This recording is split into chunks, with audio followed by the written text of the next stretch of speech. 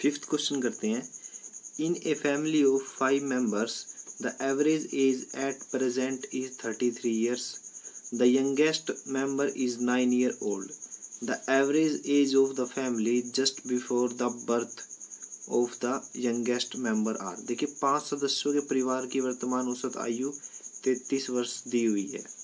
तो जो पाँच मेंबर्स की जो औसत आयु कितनी दी हुई है? तैतीस. तो सम क्या रहेगा एज का? एक सौ पैंसठ, तैतीस को पाँच से मल्टीप्लाई किया। अब जो सबसे छोटा सदस्य है, छोटा सदस्य है, वो नौ साल का है, ठीक है, अभी। तो उसके जन्म के समय परिवार की औसत निकालनी है। तो जन्म कब हुआ था? आज से नौ साल पहले। तो आज से नौ साल पहले, ठीक है?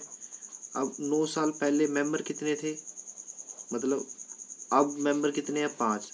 तो नौ साल पहले कितने रहेंगे? हर एक मेंबर की एज से पाँच नौ नौ घटा दो। ठीक है? नौ गुना पाँच, यानी माइनस फोर्टी फाइव ईयर तो नौ साल पहले जो एज में सब्ट्रैक्शन एज में डिफरेंस आया, कितने का आया? माइनस पैंतालीस का।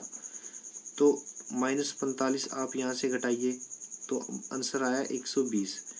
तो नौ साल पहले जो चार सदस्य थे, क्योंकि जो छोटा सदस्य था, उसने तो जन्म लिया था, ठीक है? तो पाँच में से एक ने जन्म लिया तो चार की जो एज का जो सम है, वो कितना रहा? 120 एक बार दोबारा समझ लीजिए। पाँच का एवरेज तैतीस दिया हुआ था। टोटल सम क्या रहेगा? दोनों की मल्टीप्लाई की एक सौ पैंसठ, ठीक है? अब अब जो बच्चा है जो, अब नौ साल का है तो जब जन्म लिया तो जितने पाँच सदस्य थे, सबकी एज में से नौ नौ साल कम हो गए। तो पाँच सदस्य टोटल थे और नौ साल एक बच्चे एक सदस्य में से कम हुए हैं। तो टोटल कितने साल कम हुए? पैंतालीस। एक सौ पैंसठ में से पैंतालीस गए एक सौ बीस। यानी नौ साल पहले जब बच्चे ने जन्म लिया तो चार सदस्यों की जो ए, एज का सम था वो कितना था? एक सौ बीस। तो नौ साल पहले पूछा गया है परिवार की औसत ज्ञात कीजिए। तो टोटल सम कितना था? 120 सदस्य कितने थे?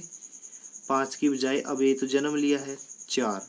ठीक है? कैंसिल आउट कीजिए थर्टी तो तीस वर्ष जो है, वो बच्चे के जन्म के समय औसत था। तो option A is the right answer